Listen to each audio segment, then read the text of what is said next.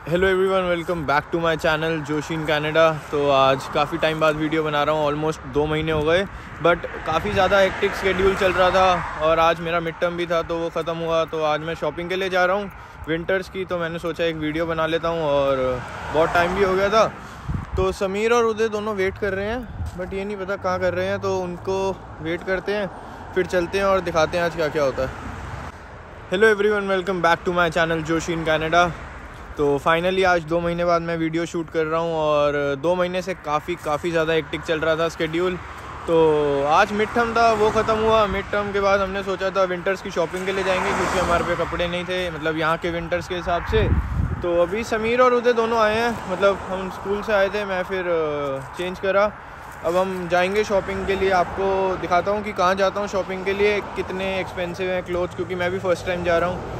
और दूसरा इस वीडियो में थोड़ा बात करेंगे कि डॉक्यूमेंटेशन से रिलेटेड जो आपको इमिग्रेशन पे ज़रूरत पड़ती है, काफ़ी ज़्यादा मेरे को मैसेज आए थे उसके लिए लेटेस्ट तो और तो किस टॉपिक पे वीडियो डालूँ ये आप कमेंट कर देना, और चैनल को सब्सक्राइब नहीं करा तो सब्सक्राइब कर देना और वीडियो को लाइक कर देना तो काफ़ी अच्छा वीडियो होगा।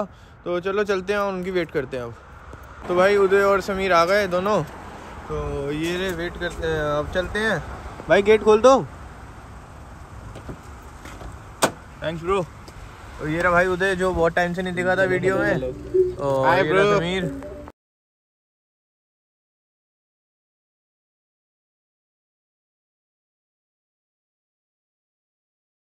तो भाई फाइनली पहुँच गए टेम्पल्टन मतलब हमारे घर से ज़्यादा नहीं बीस मिनट दूर है। तो ऐसी जगह है यहाँ इधर काफ़ी सारे आउटलेट्स हैं। तो ये देखो। मतलब काफ़ी काफ़ी अच्छी जगह है। तो अभी अंदर जाते हैं और देखता हूँ कहाँ पर मतलब आज सारी शॉपिंग करके जानी है तो अभी कुछ चार, पाँच, छः, पाँच बज रहे हैं शायद। तो शॉपिंग करते हैं और यहाँ ठंड हो चुकी है मतलब अभी एक डिग्री है यहाँ पर बाहर मतलब बहुत ठंड हो रही है। और काफ़ी टाइम से मैंने मतलब मैं दो भी, दो तीन बार मैंने वीडियो शूट करा बट वो फिर आधा रह जाता था या ऐसा होता था बहुत बार। तो इसलिए मैंने सोचा कि एक ही बारी में जब शॉपिंग करने जाऊँगा, थोड़ा लेट आएगी वीडियो बट फिर भी लाइक कंटेंट मैटर्स बेसिकली तो इसलिए मैं रुका रहा और, चलो ये है जगह, अंदर चलते हैं और देखते हैं क्या है। एक भाई, मैंने ये देखी है, ये ब्लैक कलर और इसमें सेम वाइट भी लूँगा अगर एक बार उदय समीर से पूछता हूँ, उन्हें पसंद आती है तो। बट यार कलेक्शन काफ़ी अच्छी okay thanks thanks lot okay so let's ask them Sameer Sameer Sameer okay अच्छी है वाइट ज़्यादा अच्छी लगी but I have to buy both ना। Okay so where's Uday Uday it's okay so let's so let's buy it now तो भाई वो वाला हुडी तो हमने दोनों ही नहीं ली क्योंकि वाइट लेनी थी। वाइट में मेरे पे एक्स्ट्रा स्मॉल नहीं था। Uh, मतलब उनके पास सॉरी साइज़ एक्स्ट्रा स्मॉल नहीं था और स्मॉल uh, था स्मॉल भी मेरे को बड़ा आ रहा था। ब्लैक इन्होंने मना कर दिया कि भाई तेरे पे सारे कपड़े ब्लैक हैं तो ब्लैक मत ले। तो अब देखते हैं यहाँ काफ़ी सारी शॉप्स हैं। अब ये देखो भाई, ये कितना कितना सुंदर लग रहा है। चलो, अब दूसरी शॉप्स पे जाता हूँ, दिखाता हूँ, वहाँ ट्राई करता हूँ और देखते हैं कैसे लेते हैं। बट प्राइस काफ़ी अच्छी रेंज में मतलब ये भी मेरे को कुछ 118 की दो थी मतलब 50 परसेंट था तो दो मिल जाती हैं इतने की। तो लेट्स सी भाई ट्री चेक करो कितना सुंदर है। मेरे को तो लग रहा है हमारा आधा टाइम ऐसे ही वेस्ट हो जाएगा। हम शॉपिंग तो कर नहीं पाएँगे, घूमने में टेंपल टेम्पल्टन सही में बहुत सुंदर है। ये देखो। चलो। तो भाई अभी हमने कोई कपड़े तो लिए नहीं बट ये हम तीनों ने सेम ले लिए। मैंने और समीर ने, और वो उदय वहाँ कुछ और देख रहा है। तो ये जूते हम तीनों ने सेम ले लिए। हम तीनों ने सोचा कि एक साथ जिस दिन कुछ पहनेंगे तो डालेंगे। तो और 50 परसेंट ऑफ़ था तो काफ़ी अच्छी डील मिल गई। और देखते हैं क्या मिलता है। तो शूज़ ले लिए फाइनली पहले चीज़ हम ले चुके हैं। भाई देखो, उदय ये ले चुका है, अब वो ये ट्राई कर रहा है और ये भी ट्राई कर रहा है और हम कपड़े लेने आए थे, मैं भी एक स्निकर्स ले चुका हूँ। लेने कपड़े आए थे बट अभी तक हमें एक भी कपड़ा नहीं मिला। मेरे को अभी ये लेने हैं और एक और हैं, वो लेने हैं। तो अभी पहले कपड़े लूँगा, उसके बाद कपड़े लेने के बाद मैं देखता हूँ अगर मेरे पे पैसे बचे तो मैं भी ले लूँगा। ऐसे ले लूँगा अगर मन होगा तो ऐसी बात नहीं है। तो देखता हूँ, कपड़े लेता हूँ। कपड़े कहीं नहीं मिले। वैंस हो आया नाइक नाइकी में हूँ। और नॉर्थ फेस हो आया कोलंबिया हो आया। अब एच एच एन एम ही बचा, बस एक लास्ट उम्मीद। देखो अब जाके वहाँ पर भी। तो भाई, अब हम आ गए मेट्रो टाउन क्योंकि टेंपल टाउन हमें कपड़े नहीं, जूते मिल गए थे। समीर ने जैकेट ले ली है अपनी। एक बहुत अच्छी जैकेट थी हमें। मतलब टू हंड्रेड कुछ डॉलर्स की थी तो वो काफ़ी अच्छी जैकेट थी और गर्म भी बहुत है तो मतलब वो चल जाएगी माइनस टेन तक। तो भाई कैसा रहा टेंपल टन आपका? सुबह भाई सुबह। हाँ भाई हमसे पूछो। भाई इसने भाई बहुत पैसा खर्च करा भाई। इतने जूते लिए भाई और मेरे को भी दिला दिया भाई। दुख हो रहा है अब कितने जूते हम लेते थे लेकिन कोई बात नहीं अब हम जाते हैं मेट्रो टाउन ऊपर। जल्दी से ऊपर आपको दिखाता हूँ शॉपिंग करता हूँ ख़त्म अपनी। उसके बाद फाइनल जो वीडियो का मेन टॉपिक है उस पर भी बात करेंगे और उसके बाद वीडियो को ख़त्म करते हैं। हाँ भाई फाइनली मेरे को एक वाइट मिली। ये है वाइट क्योंकि मेरे को कुछ भी नहीं मिल रहा था तो इसमें एक वाइट है और ब्लैक मैं सोच रहा हूँ यही ले लूँ, क्योंकि मेरे को ये ना लेयरिंग करके पहननी पड़ेगी। क्योंकि बहुत ज़्यादा गर्म, फिर वो बहुत ज़्यादा हैवी हो जाते हैं क्लोथ्स तो लेयरिंग करके डालता हूँ, अभी देखता हूँ, एक दो लेता हूँ, फिर कल जाना पड़ेगा दोबारा। चलो देखता हूँ, लेके दिखाता हूँ कौन सी बट मेरे को ये अच्छी लग रही थी वाइट वाली तो ये लेता हूँ अभी। और तो यहाँ अभी ऐसा कुछ हाँ ये देखते हैं। ये ट्राई करता हूँ। तो भाई अब फाइनली वो भी नहीं ले रहा मैं ये ले रहा हूँ क्योंकि ये ज़्यादा गर्म है और ये अच्छी भी लग रही है। तो ये लेता हूँ अगर इसमें ब्लैक मिल गया तो ब्लैक भी ले लूँगा।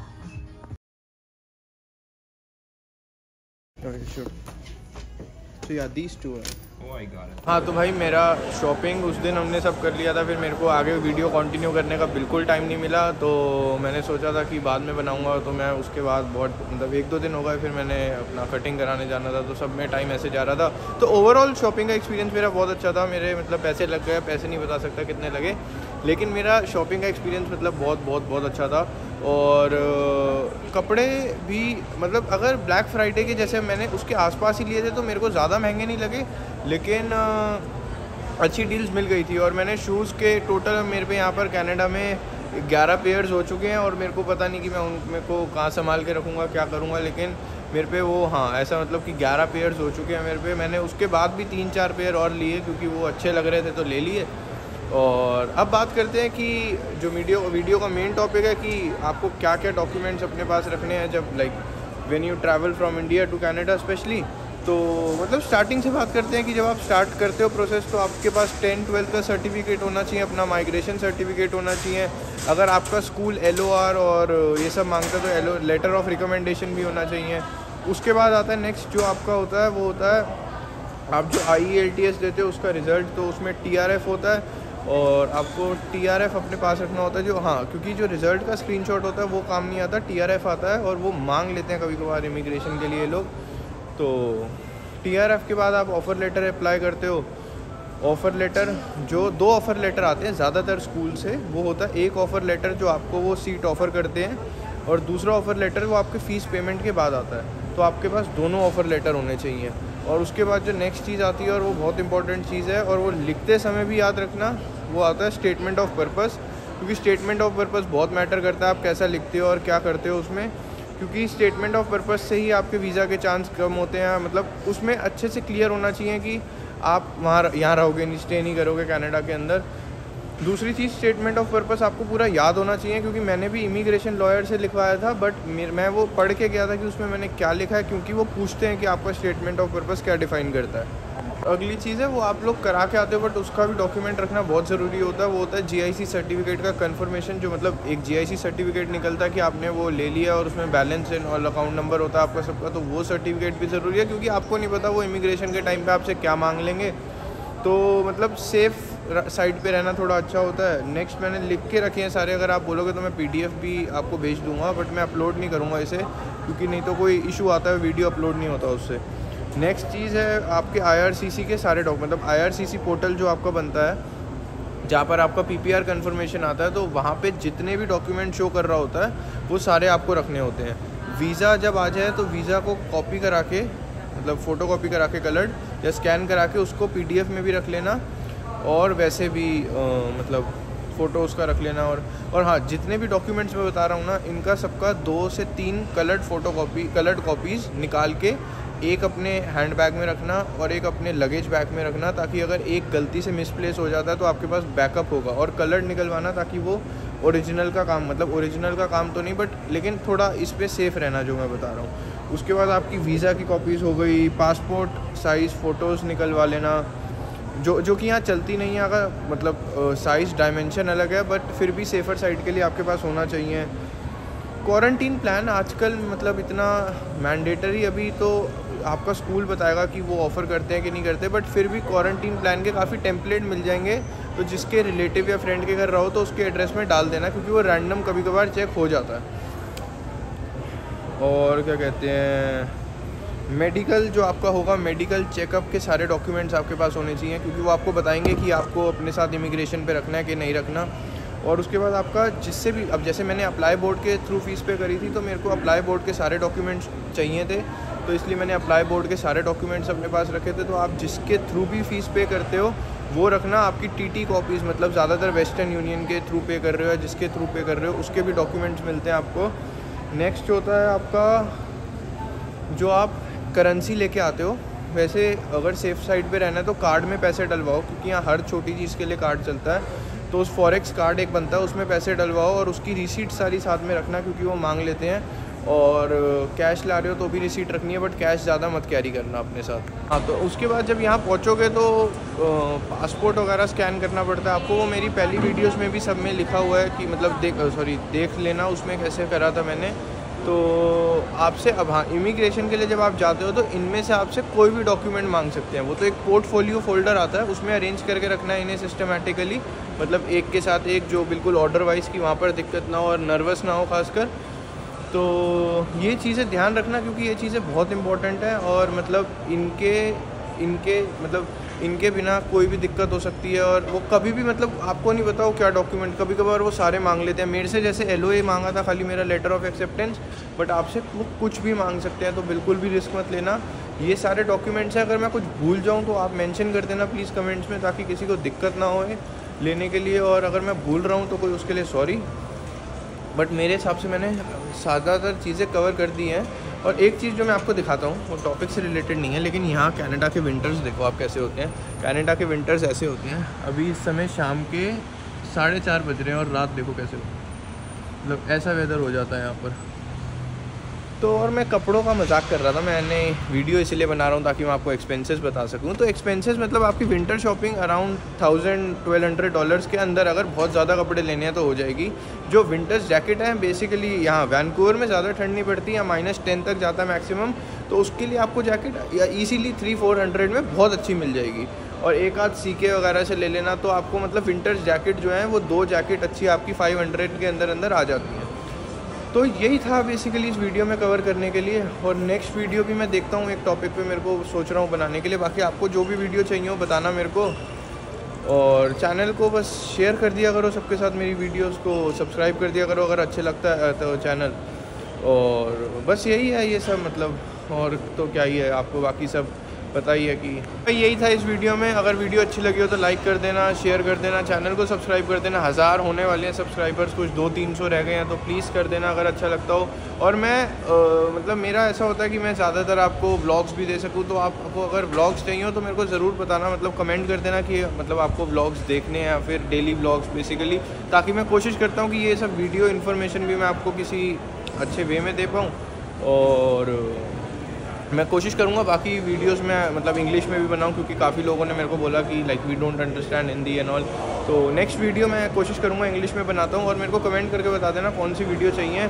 और सॉरी वीडियो को डिले करने के लिए बट हाँ क्योंकि बिज़ी चल रहा था.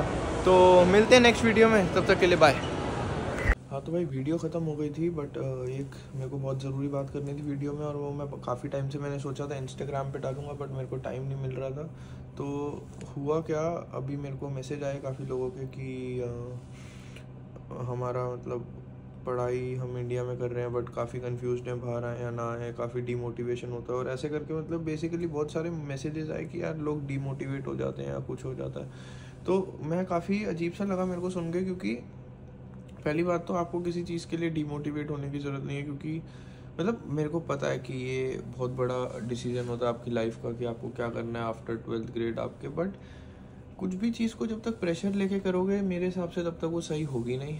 और जो भी चीज़ हो रही है, खाली मेहनत करो, क्योंकि प्रेजेंट में जीना बहुत ज़रूरी है। अगर फ्यूचर सोचते जाओगे तो आज भी ख़राब हो जाएगा आपका। और मतलब जब तक ऐसा लगेगा कि नहीं यार, ये चीज़ नहीं हो रही, नहीं हो रही, या फिर हम क्यों बार बार इस चीज़ में रह रहे हैं? तो वो ज़रूरी है बहुत। वो हारना आपको बहुत ज़रूरी है, क्योंकि जब तक हारोगे नहीं, तब तक पता ही नहीं लगेगा कि नहीं भाई, चलता कैसे क्योंकि हारने के बाद आपको पता लग जाएगा कि ये चीज़ वर्क नहीं करती। तो वो पूरा लाइफ टाइम आपको हेल्प करेंगी वो चीज़ें।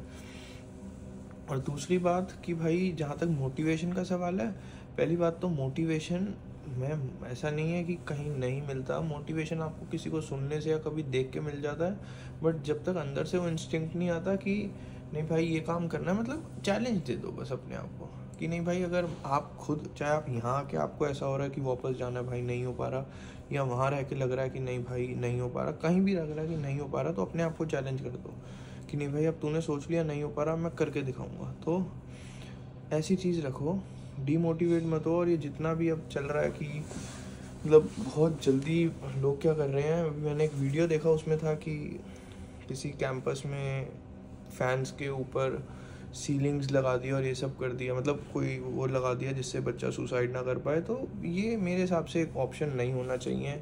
क्योंकि सुसाइड करने का अगर आप एक रीज़न है तो सौ रीज़न आपके पास ऐसे होते हैं जो आपको बचा सकते हैं उस चीज़ से। तो उस पर थोड़ा ध्यान दो प्लीज़ मतलब मेरे को ऐसा लगता है कि ये, क्योंकि हर चीज़ एंड में ठीक हो जाएगी। और मतलब मैं भी यहाँ हूँ, मेरे को पता है कैसा लगता है। तो सिर्फ़ शांति से जो चीज़ हो रही है be cool be calm and everything मतलब टाइम थोड़ा टाइम दो चीज़ों को। तो और बात करूँगा इस चीज़ के बारे में नेक्स्ट वीडियो में बट इस वीडियो को शेयर कर देना अगर आपको लगता है कि ये वीडियो आपके लिए हेल्पफुल थी। तो मिलते हैं अगली वीडियो में।